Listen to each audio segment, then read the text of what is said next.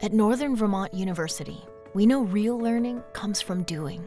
When you apply classroom learning to real paid work experiences, it becomes relevant. It sinks in deeper, no matter your field of study. It's a different way of learning. Uh, you're not stuck in a classroom all the time. You're actually having hands-on experience while you're surrounded with nature.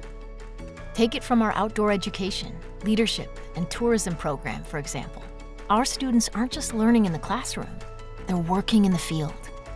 Being out in the field is huge and kind of being in that leadership role already, leading my peers and activities working with the kids. I get the opportunity to work with different classrooms. We could build something like this with the things that we have around us.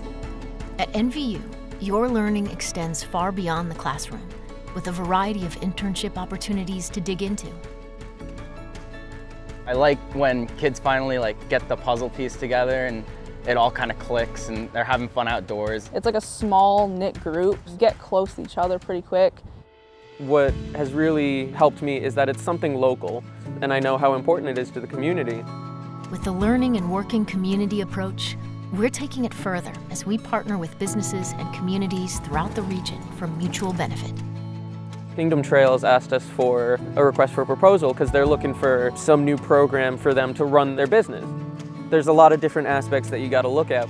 We're kind of focusing in now with what Kingdom Trails wants so we can begin our research process.